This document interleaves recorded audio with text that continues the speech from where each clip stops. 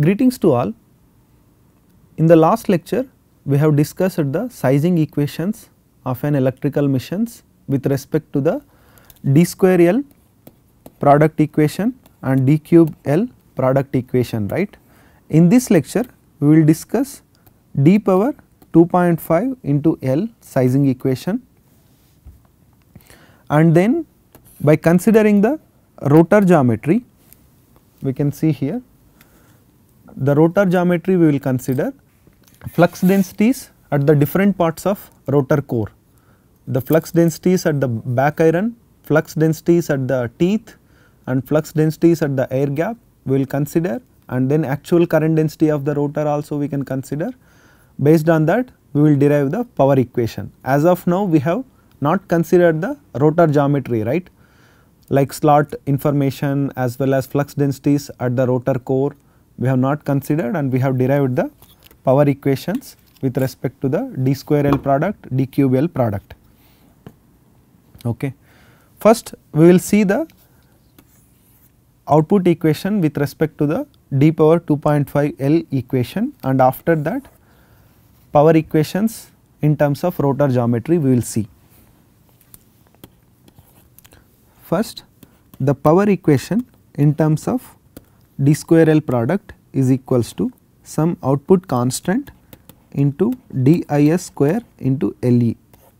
This is the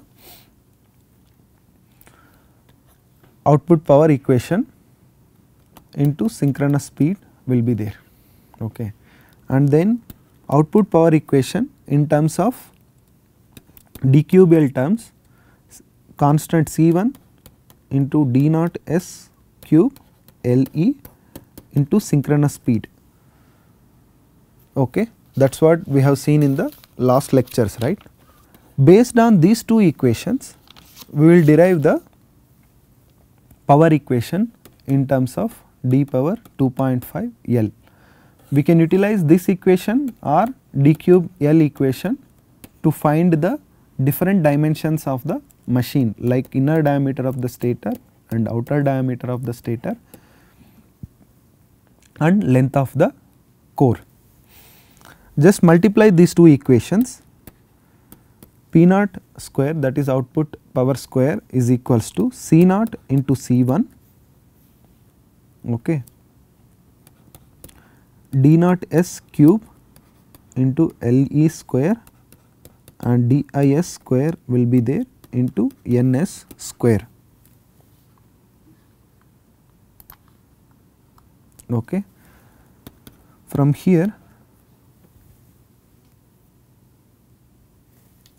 substitute lambda value in this equation. Here lambda is equals to dis by d naught s that means dis is equals to lambda into d naught s. So, C naught C1 the output power constants in place of dis square substitute lambda square into d naught s square and then d naught s cube into Le square ns square. Now take the square root output power is equals to C naught and C1 square root into lambda square d naught s output diameter uh, outer outer diameter of the stator power 5 and length of a core square and synchronous speed square. So, finally, we can see output constant C naught and C1 square root into lambda and then d naught s power 2.5 into length core length and then synchronous speed. This is the power equation in terms of d power 2.5 Le.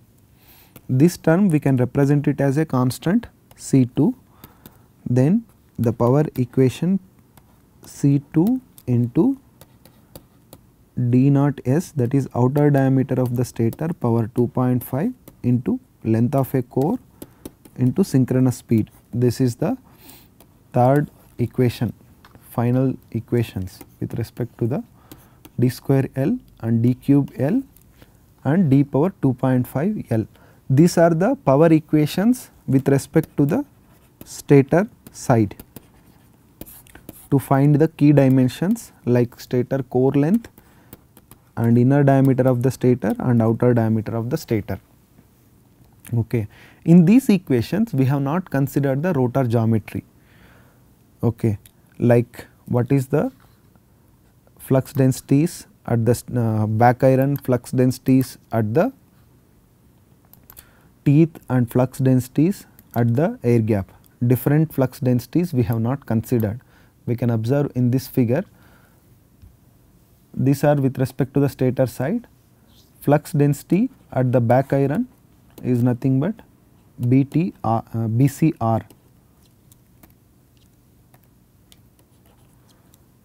flux density value at the back iron is BCR and flux density at the teeth is nothing but BTR and flux at the air gap will be same.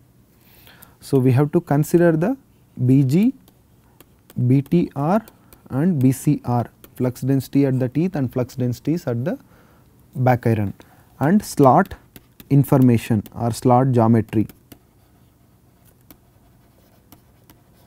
Okay. The procedure is same okay, to analyze the power equations. First we have to write the slot area, slot area of the rotor AR. We know the slot uh, dimensions. The slot opening is nothing but D naught R and the radius at the top side of the uh, slot is R1R and the uh, depth of the rotor slot is DSR and the radius at the bottom side of the slot is nothing but R2R and back iron length is nothing but DCR and width of the rotor teeth is TR. Based on these dimensions we have to calculate the slot area.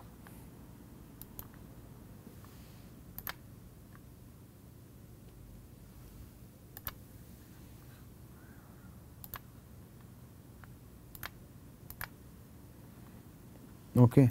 Find the slot area by considering all these dimensions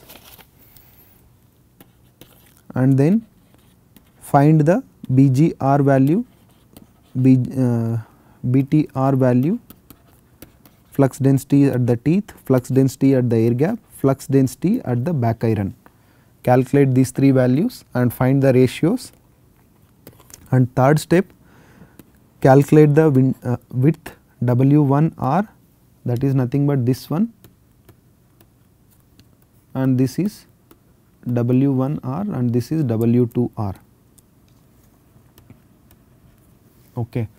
Slot width like we are seeing the slot in this manner right.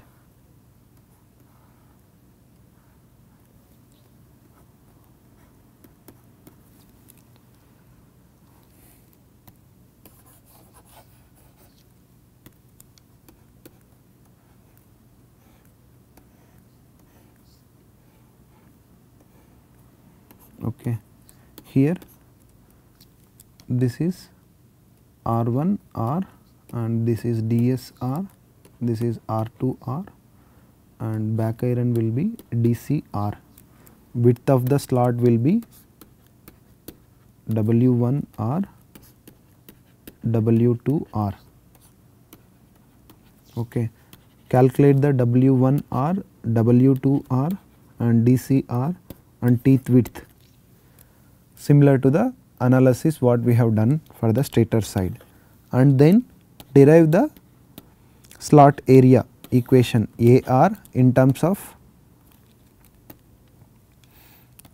DIS, uh, DIR, D naught R, okay, inner diameter of the rotor and outer diameter of the rotor, derive the uh, area of the slot and represent the function, copper function with respect to the rotor f r of lambda and finally find the power equation with respect to the rotor side. Consider the lossless system and power is uh, in terms of f naught r of lambda. This is the output function. Then remaining terms will be in terms of d naught r cube into LE okay some constants will come. So, same procedure we can follow to derive the power equations at the rotor side by considering the rotor geometry. The final power equations will come in this manner power output power equals to C1 or C3 I will take C3 into D naught R cube LE and C4 D naught R power 2.5 LE output power sh should come in this manner into synchronous speeds. This is equation number 4 and equation number 5. I am not deriving these equations, we can derive these two equations by similar uh, procedure with respect to the stator side. Okay. So, with this I am concluding this lecture. In this lecture we have seen the equations with respect to the d power 2.5 uh, LE sizing equations and then rotor side sizing equations procedure we have discussed. The same procedures we can follow for uh, deriving these equations and these are the power equations with respect to the rotor side. Okay. Now, we will conclude this lecture. Thank you.